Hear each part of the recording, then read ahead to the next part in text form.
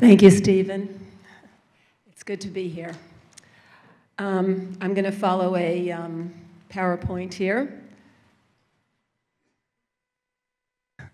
starting with this very scary um, opening image of what looks like our planet on fire, um, which it um, kind of is right now, with at least one of many um, outcomes being that we have unleashed a plague of ticks and the diseases that they carry.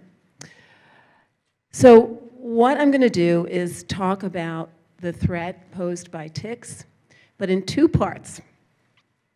First, you're going to hear how we um, abetted this. We had a great hand in making this happen.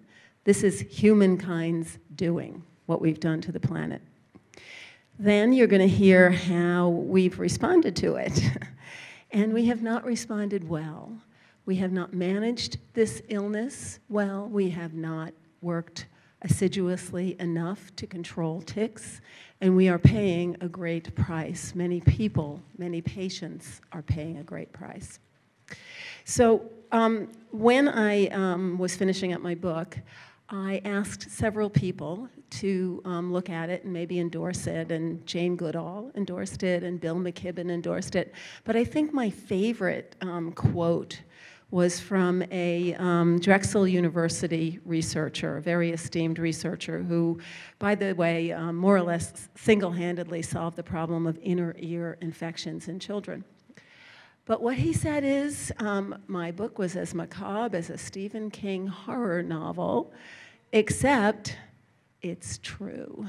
Ticks are basically blanketing the globe.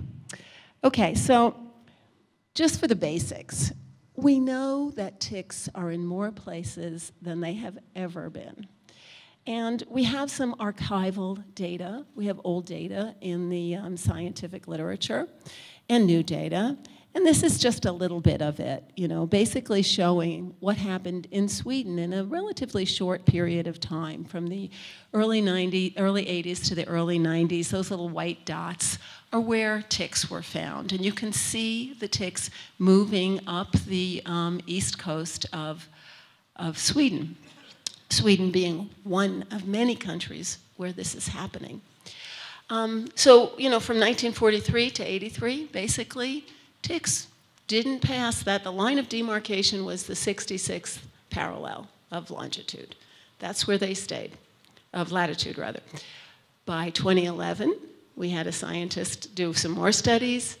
We found them at the 69th parallel. They had moved about 200 miles further north. Now, this is happening in Canada. Canada is a new frontier for Lyme disease. Um, they are basically, the Canadians are, at the point where we were here in New York and in the Northeast and in the Midwest and other areas of the country, maybe 30 years ago doctors are uh, all of a sudden seeing Lyme disease, or they're saying we don't have Lyme disease here and not treating when they should. There's that whole awareness cycle that is starting up there as um, numbers of um, cases grow. In the last year, up 100% in Canada.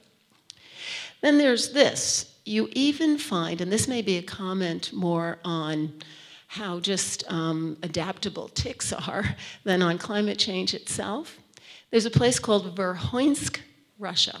It's above the Arctic Circle.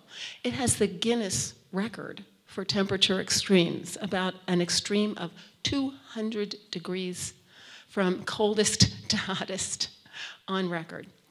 And there, a group of scientists went and decided to test the blood of some of the residents and found they were carrying the um, antibodies to Lyme disease. Maybe they weren't sick, they had been exposed. So we know that ticks are climbing latitudes. We see more cases in more places. We know we find ticks in more places. Well, they're doing something else. and here again, we have a, a very um, astute scientist uh, who decided in 1957 to climb an Alp in, um, what was then Czechoslovakia and uh, is now Slovenia. And he finds, okay, ticks cannot survive above 700 meters of altitude, okay? 50 years later, another scientist goes back, bless his heart, because I like this kind of data, and he finds ticks living happily at 1100 meters. So they're not just moving north, they're moving up. How are they doing this, you ask? Well, um, basically a tick, and especially the black-legged tick that we are very concerned about because it gives us Lyme disease, um, walks one way. It walks vertically. It climbs up a bit of grass, a, a twig of some sort, and it holds out its forelegs, and it just waits for a mammal to pass by. Um, it, by the way, can smell your breath from 50 feet away. And that's when those little legs go out and they start waving, and hopefully they'll snag a bit of fur or a sock or what have you and climb on board. So they can't go far in and of themselves, even if they get on the back of a deer. You know, the deer stays in their geographical area for the most part.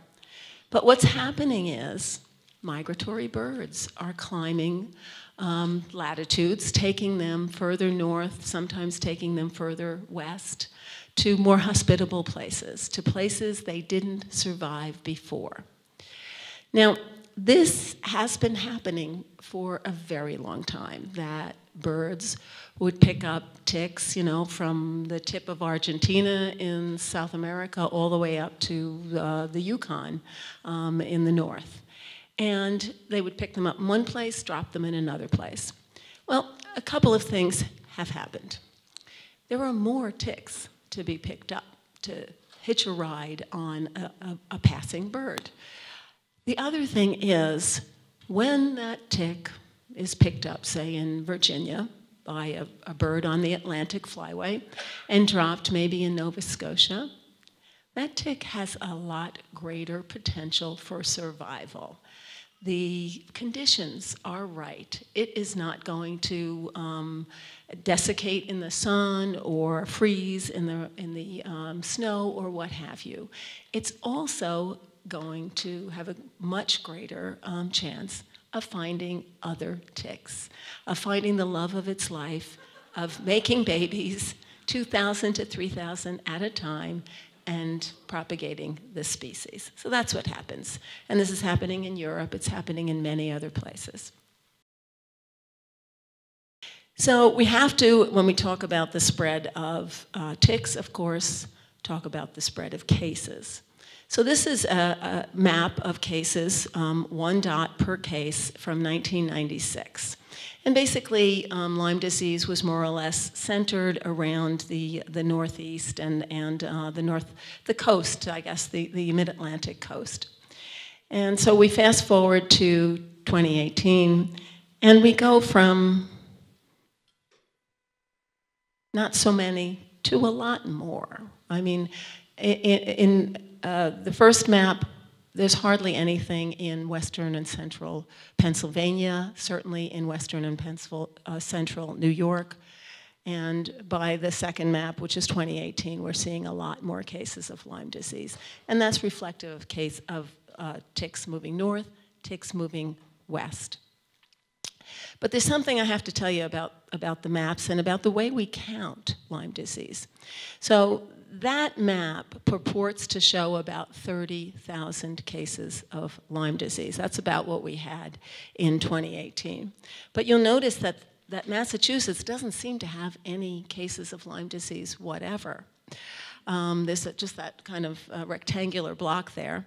And basically, the CDC has said that it wasn't accepting Massachusetts numbers because it didn't like the way it was counting Lyme disease. It doesn't like the way New York State counts Lyme disease either because county health departments are so overwhelmed with Lyme disease cases that they extrapolate. They estimate how many cases we have.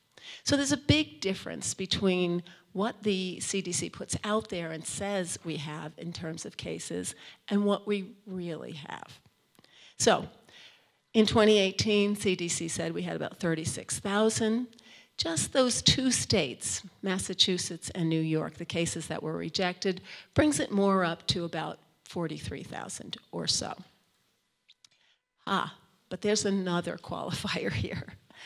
And that is, a few years ago, the um, CDC did a study of insurance records. They wanted to see, see, how many claims were filed for Lyme disease. And lo and behold, they found that there were a lot more claims for Lyme disease than they were recording in cases of Lyme disease. So they now say that there are 10 cases of Lyme disease for every one that's reported. So now we're multiplying this by 10 we are greater than 430,000, and we're probably more on the order of 500,000. Places like um, North Carolina, you can see that right, right there is North Carolina. Doesn't have many cases of Lyme disease. They recently did a study of insurance records, and North Carolina was fourth on the list of states in terms of the number of claims. So we don't really have a handle on it, is the long and short of it. And numbers are important, as you'll find out later. Okay, we know that the climate has changed in New York. We've seen it in our own lifetimes. And these are some of the ways that climate has changed. It's up 2.4%. I mean, 2.4 degrees, sorry, since 1970 we have these heavy rain events much more frequently, up 70%, including hurricanes. Sea level up a foot since 1900. Spring actually begins earlier. Bees, birds, I love this one, and fish have changed. Off the coast of New York, stocks of fish, what ones there are left, are actually, actually moving north they're, they are, you know, they stay in certain places, but they're further north, just as ticks are moving north, so are our fish. Um, bees begin their business earlier. Birds are hatching in different places from where they did before. And by the way, ticks are really happy. There are many places for them to live, to thrive, um, many more places to, to lay eggs and have babies. And this is another way that we can um, see the progression and the movement of ticks in New York, where we are right now. And what you'll see from this is that um, in the West, the Western New York, we saw a 500% increase in Lyme disease cases in just a five year period. Central New York, about a 300% uh, percent increase, a couple of hundred percent up the um, north of the Hudson Valley and in central and uh, uh, eastern New York. So this shows us something is going on.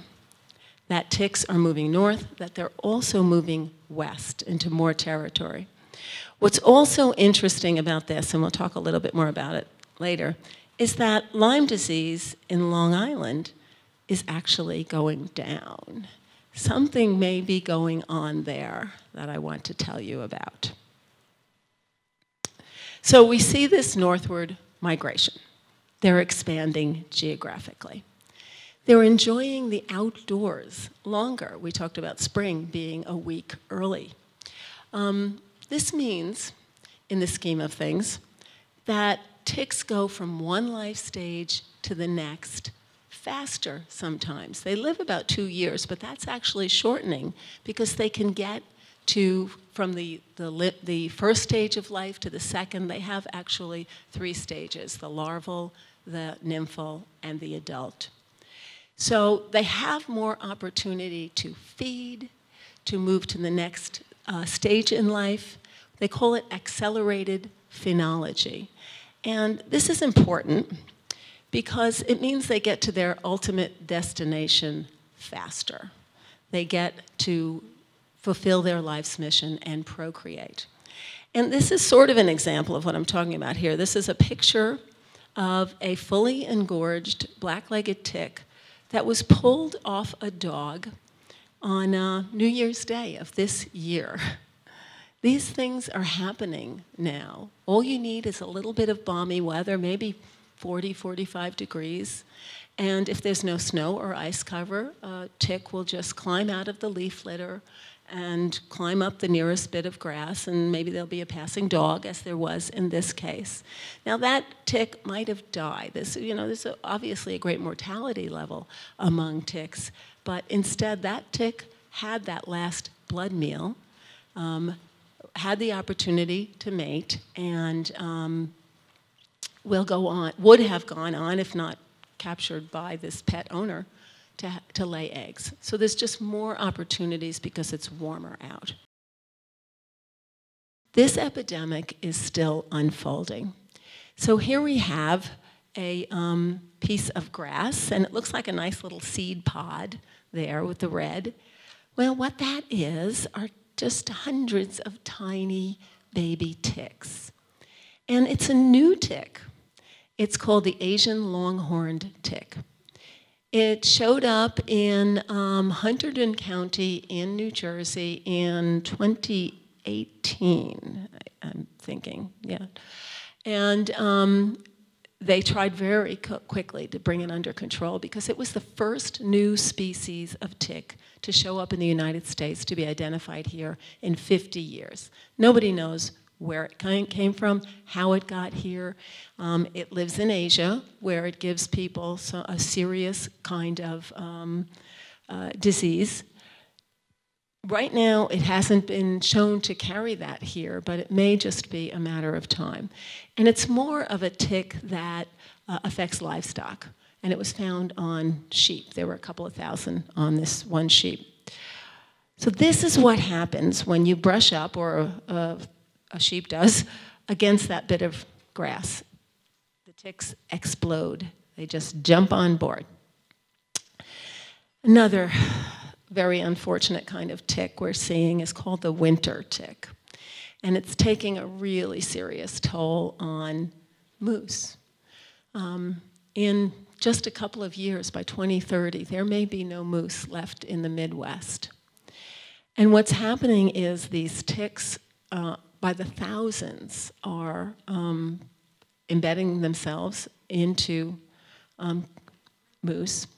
And those patches are, we call them ghost moose because there are so many ticks on these moose that they rub up against uh, a tree to try and get the, the um, ticks off of them and they lose their fur. Um, in New Hampshire, in Vermont, they have found moose with 150,000 ticks. And what happens is they bleed to death. About half their blood goes into the ticks. When a baby, tick, uh, baby moose is born, the, the uh, ticks move from the mother right to the baby. Um, so, um, all right. Now, the US government has not been known to be particularly um, aggressive in um, attacking climate change. Um, we seem to not be able to get a clear policy going. But in 2014, under a different administration, it did something very interesting. It came up with a list of four new things that it was going to look at to, to track the um, uh, progress of climate change in the United States. Was it getting worse? Was it getting better? So these are the four things that they were going to look at. New indicators of climate change. We were going to look at heating and cooling degree days, namely, is it getting warmer? Do we need more heat or do we need more air conditioning? They were going to look at wildfires. We have seen what is happening in Australia and in California in terms of wildfires driven by very um, hot spells when things are very dry. Great Lakes temperature. The Great Lakes hold 20% of the fresh water in the world, so that's an important place to look. And lastly, they were going to track Lyme disease cases. Lyme disease is the only disease to be tracked in terms of the um, progress of climate change. So that's an interesting development. There was a, a, couple of researchers by the name of Weiss and McMichael uh, who published in Nature Medicine a few years ago. The um, transitions in disease in human um, history. So we had that, that first transition when, about 10,000 years ago, we started farming and we started living in communal societies. And that's when measles and smallpox emerged. And then we had a second transition, uh, the centuries before and after Christ, when people started moving around and they started trading goods and spices and so forth. And with them, when they went from place to place, they didn't only bring those goods they were going to sell, they brought rats and fleas and lice and typhus. Now, in that third transition, we all sort of know about this. I think um, the quote from Charles Darwin says it very well wherever the European has trod, death seems to pursue the Aboriginal. So, in that third transition, we exported a lot of disease.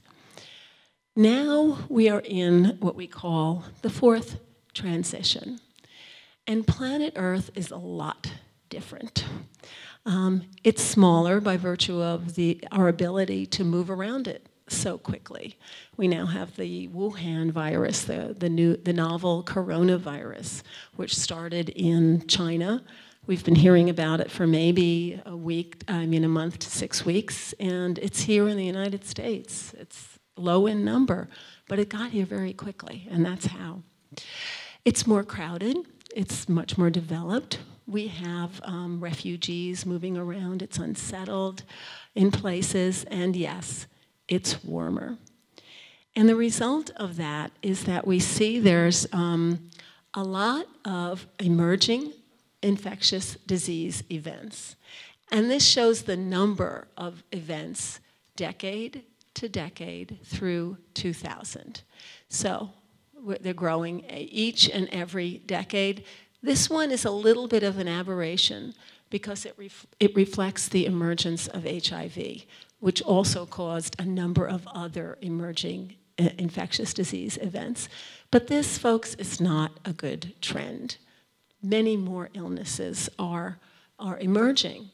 And, you know, when I say Lyme disease is the first, I say that because it's new. Yes, it was living quietly in the environment, um, but for the most part, nobody heard of Lyme disease before about 1980 or so. Um, it is climate driven.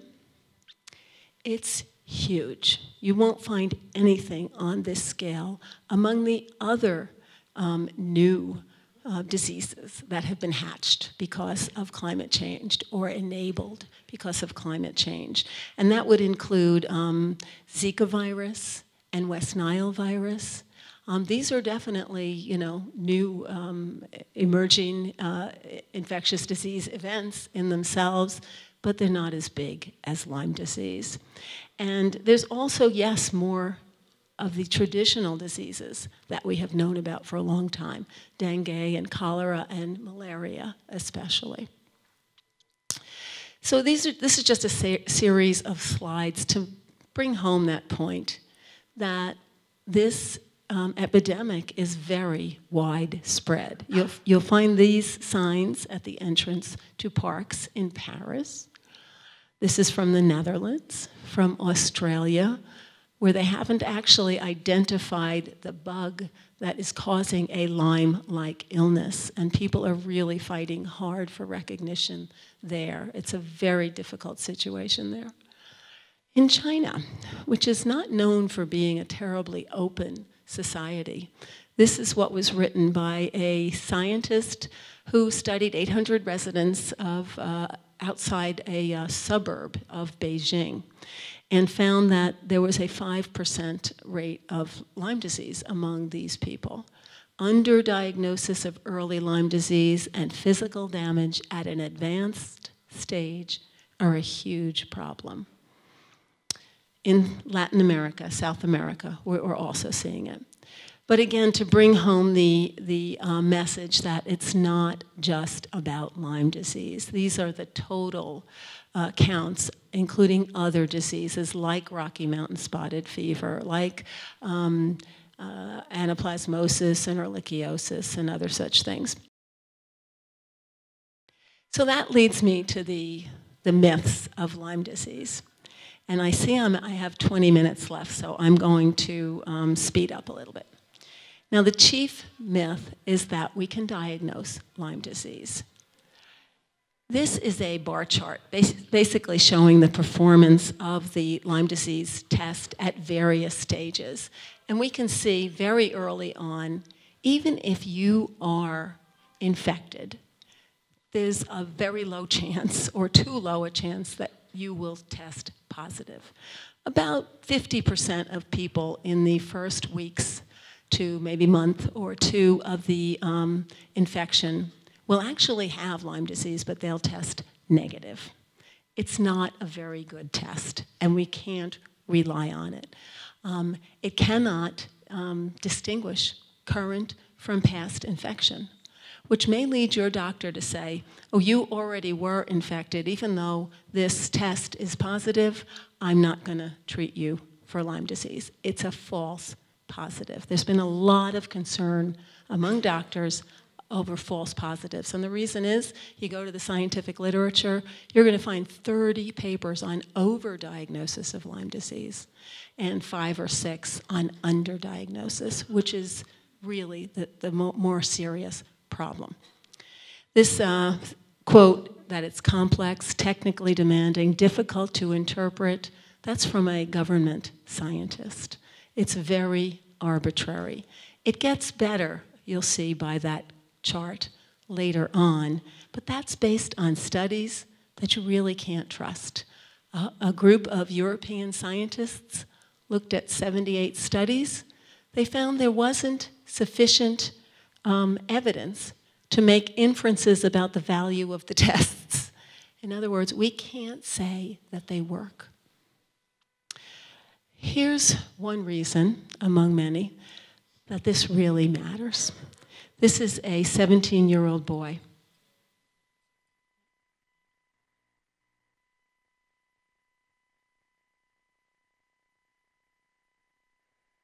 Um, from Dutchess County who had gone away to summer camp, um, came home sick. He also came home really fired up to, to be a, an environmentalist and a natural scientist because it was an environmental camp. His parents took him to the pediatrician twice. He was tested for Lyme disease. He tested negative wrongly. The Lyme disease spirochete went to his heart. It, caused Lyme carditis, or uh, heart block, basically, and he died. This is a uh, quote from a, a, lawsuit in which his pediatrician is asking, What's the significance to you of the fact that the antibody test was negative? The doctor replies that he didn't have Lyme at the time. This is what doctors believe, at least some of them. Now, they say this kind of situation is rare. And um, in all, when I wrote this story, in all of the medical literature, there had only been reported four cases of Lyme carditis. Guess what? Five months later, there's another death in Dutchess County. Nobody's looking for this kind of thing. They also tell us, okay, you have the rash. So if you don't test positive early on, you'll get the rash. The rash is called a bullseye rash. In about 9% of cases, it's actually a bullseye, this central clearing with the red on the outside. So it often can be missed. You sometimes don't get it either. Best case, 70 to 80% of people do get the rash. So it's, again, this uh, um, pa paradigm on which Lyme diagnosis and treatment um, rest is flawed. And this is some of the ways in which it's flawed. Now, I told you about Borrelia burgdorferi. It's a pretty nasty organism, and it's been around a long time, and it has learned how to survive. It is a champion survivor. The first thing it does is it does that little drilling deal. It disseminates throughout your body goes to your, your lymph nodes and it disables germinal centers. These are things that your lymph nodes need to um, fight off infection. We've found this in um, mice and we found this in monkeys, and there's every reason to believe it's happening in people. it also changes itself. It's got these outer surface proteins, they're called. And your immune system looks at them and says, okay, I gotcha. I'm going to start attacking that thing. And then it, it sheds those proteins and it takes on another look, and your immune system is like, what? What's going on? It also, when it's under environmental stress, namely our uh, immune system is attacking it or antibiotics are attacking it, it does these things. It changes shape, it goes dormant, goes under these things called biofilms, and it just hangs out there until the coast is clear. It persists. Borrelia is a really, really interesting microorganism. This was told to me by a University of California scientist. It has a huge brain. It outsmarts people. Um, so now I'm going to go through we can cure Lyme disease, and then I'm going to take some questions. Now, it has been said for a long time that a short course of antibiotics is all that is need, needed. Say 10 to 28 days, and that spirochete is killed in your body. Um, so this is a, a recent study that sort of reaffirms that.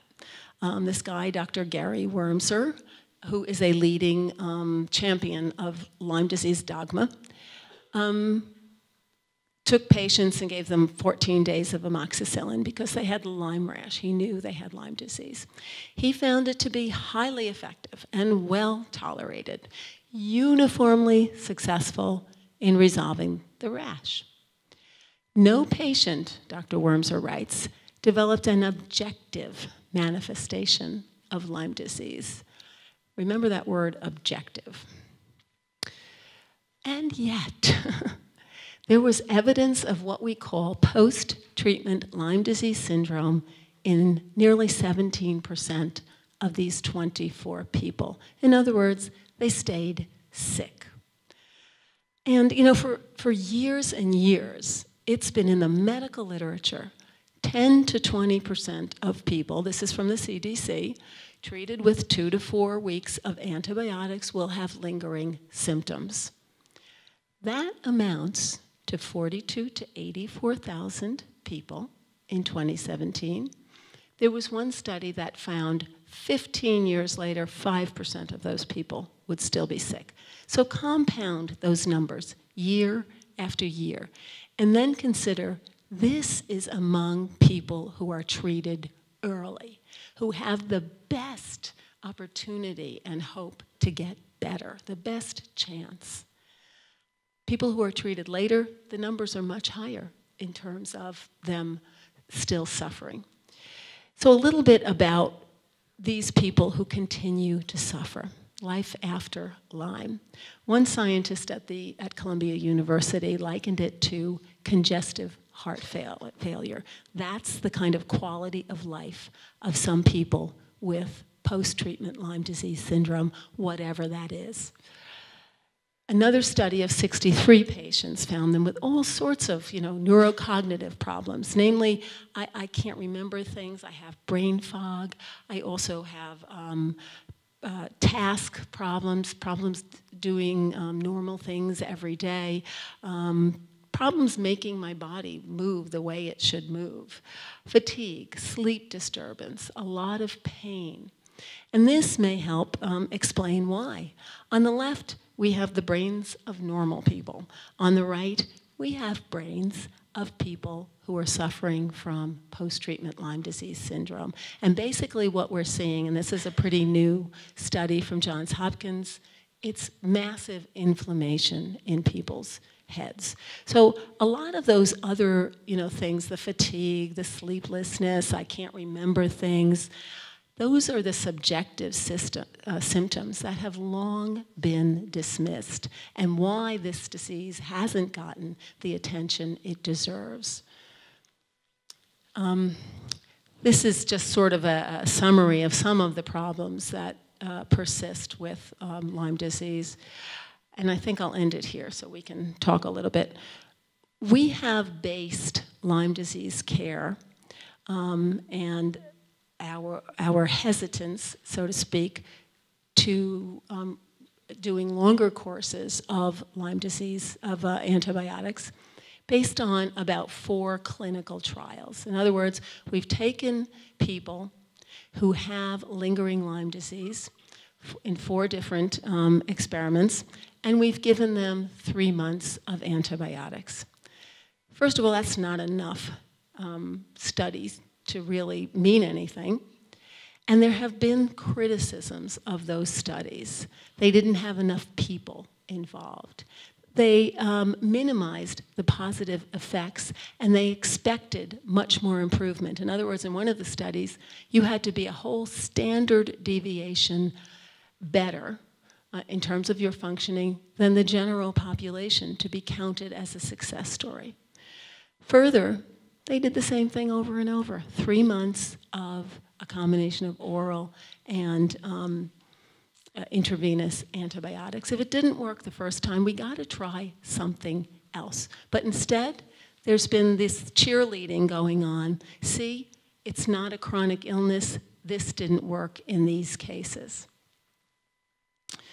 Okay, and the problem here shows why we're in this situation. Compared to other illnesses, we have had very, very little study of what works for people with Lyme disease.